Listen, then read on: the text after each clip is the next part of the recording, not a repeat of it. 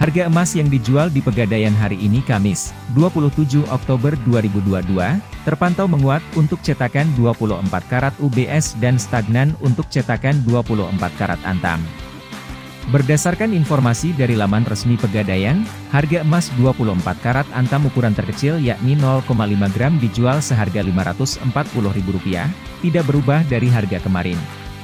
Sementara itu, emas 24 karat UBS dengan ukuran yang sama dijual pada harga Rp499.000, naik Rp5.000 dibanding harga kemarin.